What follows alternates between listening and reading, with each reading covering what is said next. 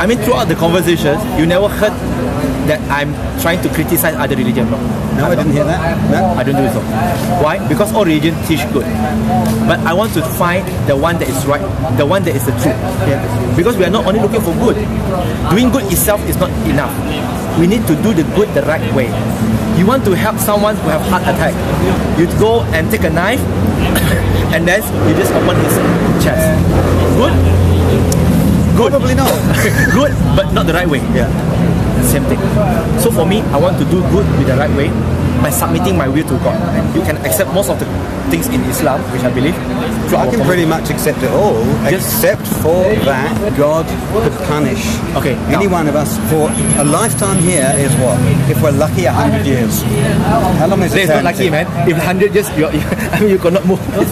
Okay, but really, how long is eternity? 100 years here, maybe 80, 70, 60 for most Yeah. people, versus eternity of hell. Good. You want to listen to another analogy? Yeah, go on. I share with you. You know in Malaysia we have one cap- we have uh, capital punishment. You do? Yeah. Capital punishment hang to death. Yeah. For the offense of drug trafficking.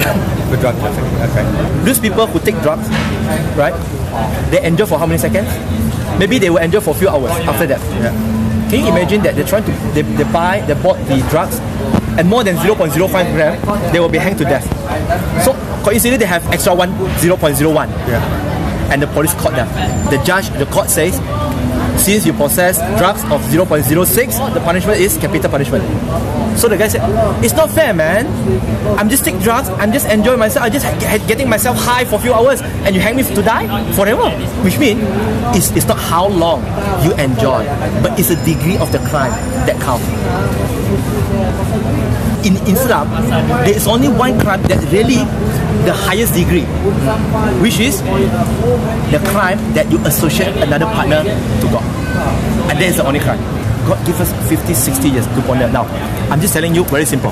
I, I, I mean, just see, I, I did this way makes you sense. put it. Yeah, just book it this way. 50, 60 years to keep on pondering. I keep on sending people to talk to you. Just submit to me. Do the things that I ask you to do. Okay, for all your purpose in life, you just worship the only one God. Very easy way, just like what you have done just now. It's very easy.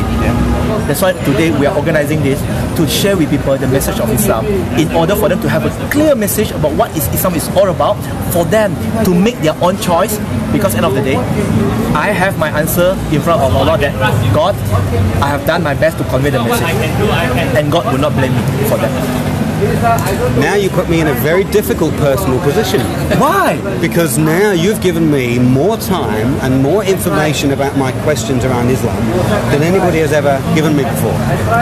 So now you put me in a very difficult position because I can't plead ignorance anymore. I must embrace God and, and His one path or be damned.